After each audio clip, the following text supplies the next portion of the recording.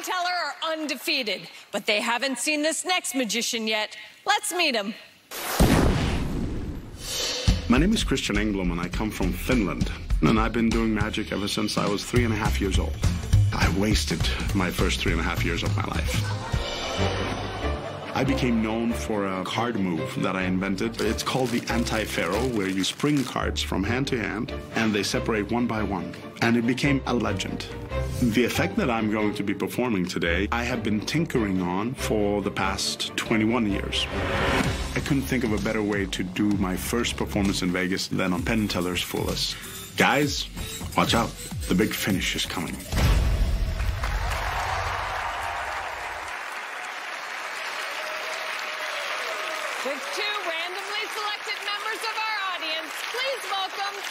Magician, Christian Engblom. Thank you. Thank you very much. And uh, thank you, wonderful assistants. Your name is? Stacy. Stacy. I'm Christian and Walter. Walter. Wonderful. Thank you for joining up here.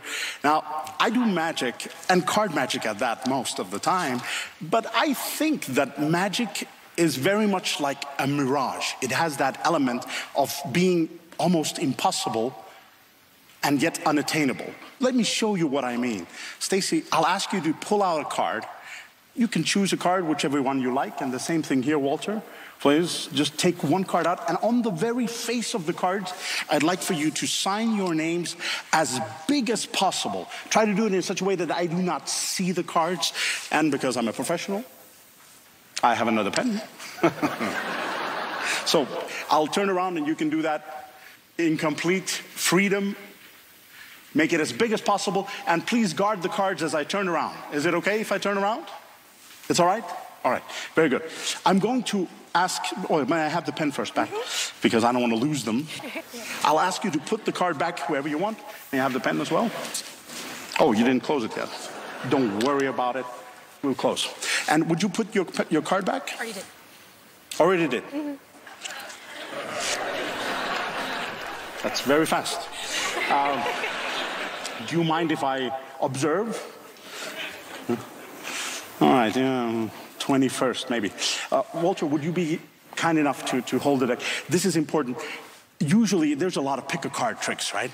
But what really stands out, what I want to do, is a pick a card trick that's as fair as possible. You got to choose the cards you wanted to, you sign them, you put them back, whether I was ready or not. And here's the thing I did see where you put your card. So go ahead and just shuffle. Yeah, just give them a mix because you might as well because I have no idea about Stacy's. You're happy with that? Yes. May I borrow the deck just for a moment? I'll try to get Walter your card first because I saw where you put it in. Uh, let's see if I can do it. Done flies away from the deck. Nothing in the hands. Feel, feel, nothing, nothing. And when I go into my back, excuse me, the other back pocket, I have one card here and one card only. Walter, is this your card? It is. It is. Good.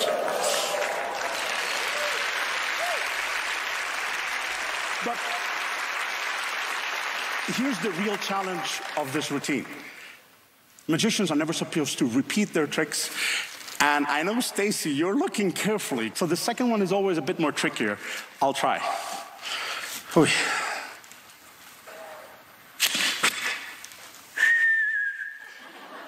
What can I say? I'm a, I'm a child at heart. Your card has disappeared from the deck. It's no longer in the deck. No longer. Gone. It just doesn't go into the same pocket like a good pickpocket. I don't hide the loot in the same pocket. Can you feel something here? No. Yes. You can? Good. Can you please open the button? Okay. Can you put two fingers inside? Well, once you get the button open and confirm, is there one card there? Yes. And tell us, is this your card, yes or no? And if it is, yes, show. Yes, that's my card. Ladies and gentlemen, Stacy and Walter.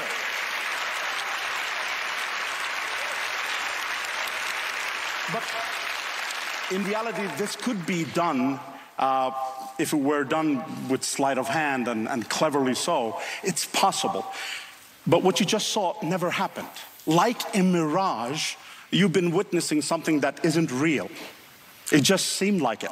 Walter, your card could never have come from my back pocket. Do you know why? Why? Because I do not have a back pocket.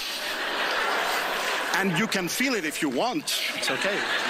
Not, but of course, Stacy, your card can never have come from my breast pocket simply because I do not have a breast pocket either. Ladies and gentlemen, thank you so much. Thank you very much, Walter. Thank you so much, Stacy. Thank you. Christian Engblom! That was incredible! Thank you. I was you have a nickname in Finland. Is that correct? Oh, yes, Yeah. the big finish. nice.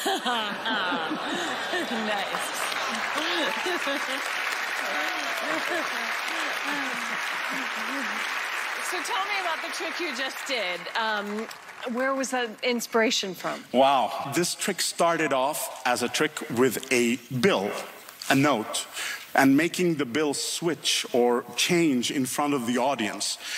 And from that trick, it morphed into another trick, into a third, into a fourth, into a fifth, until you see the end result. And it took somewhere around five years before it went from one trick up to the fifth trick, which is what you see now. Wow. So it's a card trick. That's fantastic. They look confused.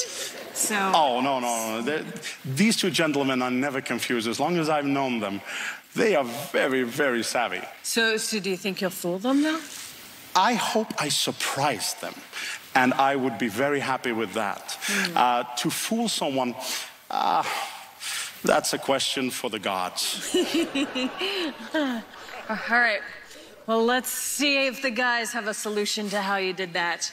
Boys, Okay, Christian, here we go. All right, Finn. We saw a lot of stuff you did. Saw a lot of stuff you did. You know, when you turned around and showed your ass and asked My if, better you could- side. if you wanted to feel your ass, and it might have looked a little dirty to other people, but we knew it was covering other dirty work. We knew that the choreography, we didn't believe for a second that you forgot to have her put the card in with the pen, and she put it in exactly when you wanted her to. Put the card back. You weren't you weren't thrown off by that at all. We saw you uh, cop the cards. We saw you palm it. We had you busted all the way through. We just don't know how you found the cards. we don't. We had a What does lot that of mean? good ideas of where you you.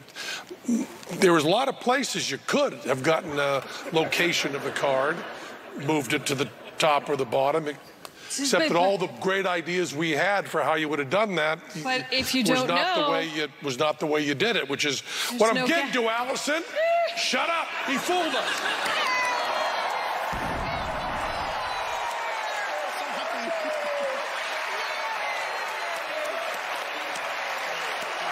Nicely done, sir.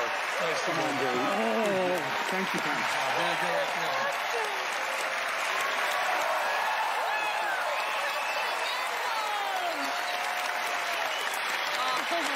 Thank you so much.